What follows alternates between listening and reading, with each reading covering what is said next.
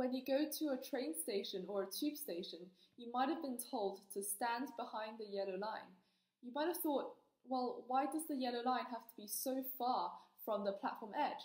I can very well put another foot in front of the yellow line and still not fall down from the platform edge. Well, I'm going to show you that this is not going to be a good idea.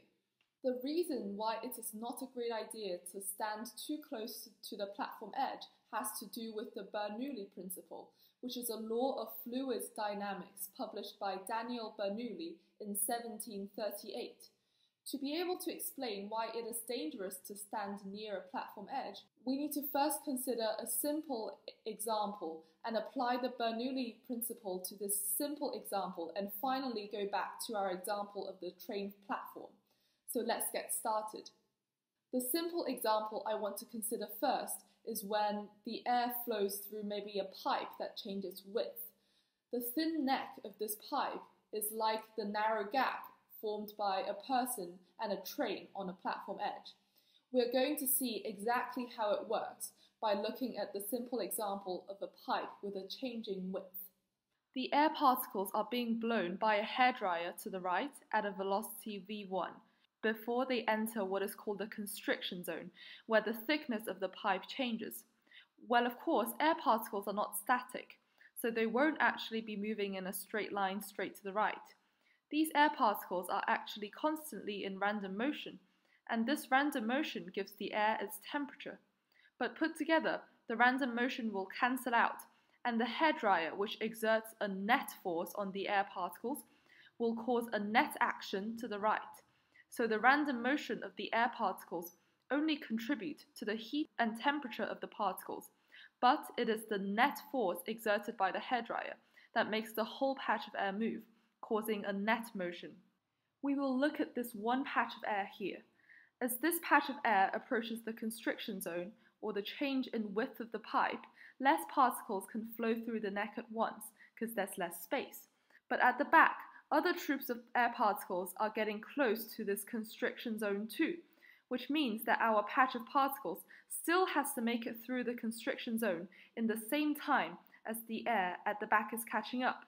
Even though our patch of air has less space to go through, this is a bit unfair, but the only way is if our little group of air splits into more columns and the air particles pass through one by one, but each subcolumn has to go through that constriction zone at a higher velocity v2. Since the air at the back is basically pu pushing on our patch of air to go through quickly. So by increasing its speed, our patch of air makes it through in time. The point is, air that goes through a constriction zone has a higher velocity. What Bernoulli realized was that the changing velocities of a stream of fluids, so gas or liquid, causes a change in pressure of that gas or liquid. More specifically, at the constriction zone, the fact that our air has a higher velocity causes a lower pressure compared to the pressure in the purple box. The higher the air's velocity, the lower its pressure, and the lower its velocity, the higher its pressure. In more numerical terms, Bernoulli came up with an equation. Here it is. It's a lot of symbols, but, but please don't be scared a lot of the terms won't come into play in our simple example. Now let's first look at the equation more generally. We first notice that both sides of the equation look roughly the same. Specifically, the first term of either side, P, tells us about the pressure energy, which basically tells us how high the pressure it is. The second term tells us the kinetic energy of the fluid. In crude terms, the movement of the air causes it to have some oomph which can be described by its kinetic energy. That oomph is associated with how much mass the air has and how fast it is moving. The third term describes the potential energy that the air has due to how high it is above the ground. So my pen has more potential energy here than it has here. As we can see, the sum on the left side, the pressure energy plus the kinetic energy plus the potential energy, is equal to the sum of the three energies on the right. So it looks like some kind of energy conservation law. Now we will play with the terms of the equation to see how each energy affects other ones. If we make the left-hand side stay as it is, and if we make the second term of the right-hand side, kinetic energy larger, and we make the third term stay put, then the first term, the pressure energy, must go down because the sum of the three terms must add to the left-hand side, which stays constant.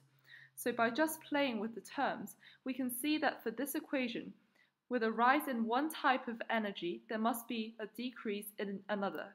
In fact, for the same stream of air, its conditions before passing through the constriction zone can be written on the left-hand side of the equation, and its condition inside the constriction zone can be written on the right of the equation. And as the air passes from a wide pipe to a narrow pipe, the sum of the pressure energy, the kinetic energy, and the potential energy of our patch of air must be conserved through this equation. Now, let's go through the symbols in this equation. Please don't be scared of it. As you can see, a lot of the terms on the left-hand side is the same thing as the right-hand side. So the big P just tells us about the pressure. Now, this weird P here is called rho. It's the density of the liquid or gas and in our pipe example, it is the density of the air inside the pipeline. Rho stays fixed in our example, as the density of the air does not change in this pipe. So rho stays the same for the left-hand side and the right-hand side. G, small g, is the gravitational acceleration of Earth on us, which is 9.8 meters per second squared, and g is unchanged as the air goes from the wide to the narrow pipe, because we didn't change gravity. H stands for height, and in our example, there is no rise or fall in the height from the left to the right, so the height stays fixed. Well, yes, it's true that when air particles go through the constriction zone, the air particles at the top of the wide pipe must go down, and the air particles at the bottom of the wide pipe must go up.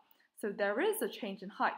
However, we take the mean average position of all air particles to be its height. So for the wider stream of air in the bottle, we take it as if it is a concentrated vector, and we do the same thing for the air at the constriction zone, and we get that two streams have the same height. Let us go back to the equation.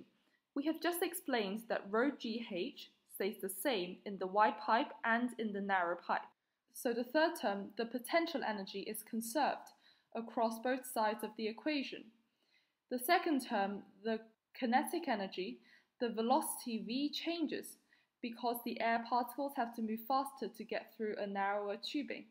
A change in the velocity will in turn change the pressure.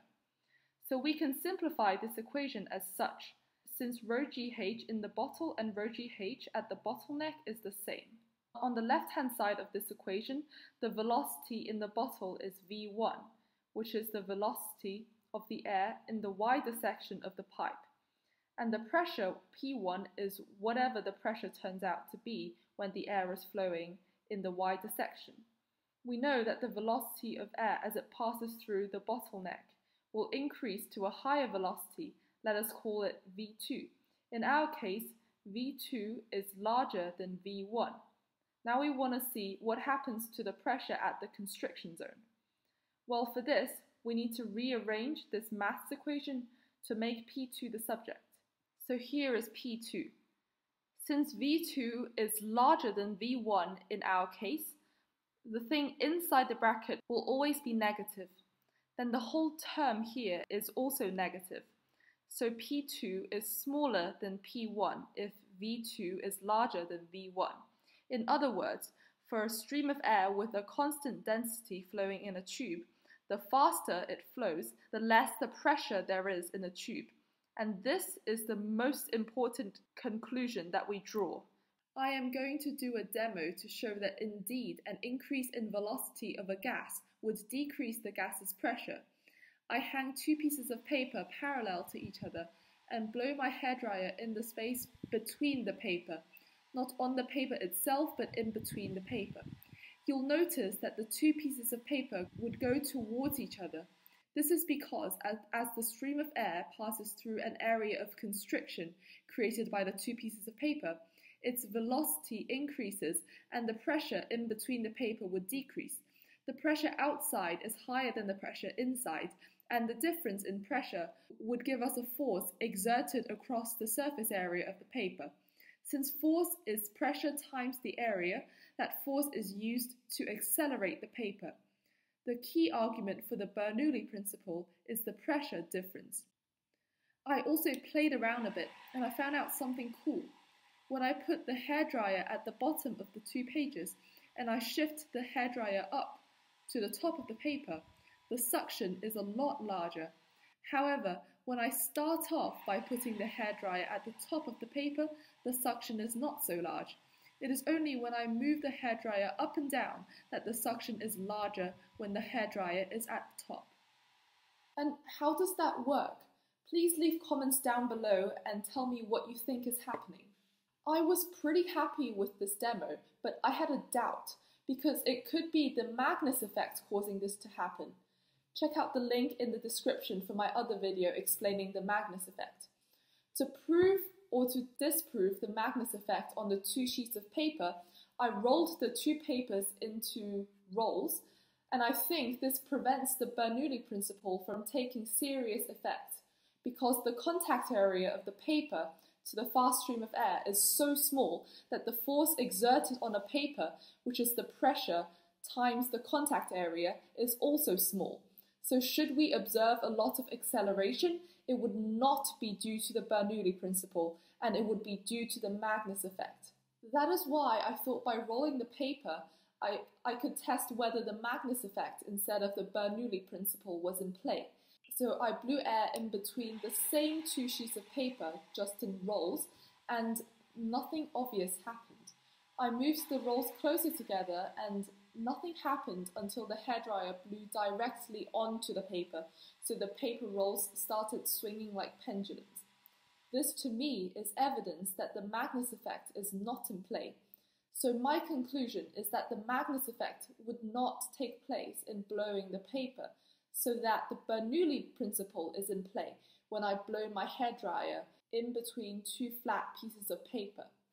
Feel free to criticize my methodology and my conclusion by leaving comments down below. I would really appreciate your opinions. What do you think? Is it the Magnus effect or the Bernoulli principle that causes the two sheets of paper to fall in?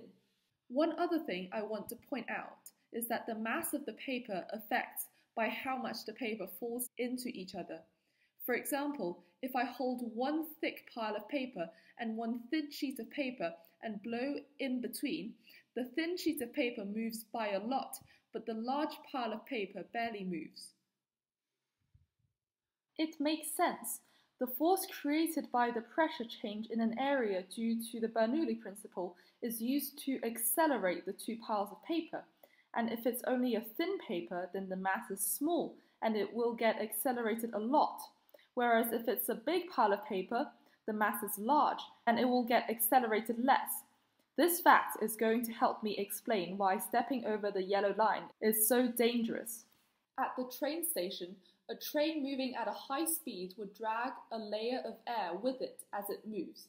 If this train approaches a platform on which you are standing close to the platform edge, you are like that thin sheet of paper, and that train moving at a high speed is that big pile of paper which has a lot of mass the train will drag a layer of air with it, and that layer of air will, will enter a constriction zone as it passes between you and the train.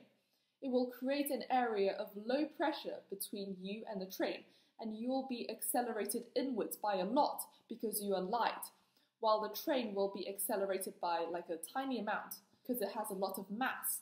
This is why standing too close to the platform edge is dangerous because should a high speed train come by, you will crash into the train by the pressure.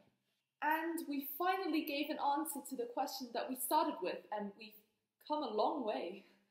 Congratulations for following right till the end, and thank you so much for watching. If you found this video helpful, thoughtful, or cool, please like and subscribe and ring that bell to catch the next videos I make. I think next I'm going to make a series of videos on the topic of light, which is allowing you to see me right now. So ring that bell and catch my next video. Thank you and have a good day.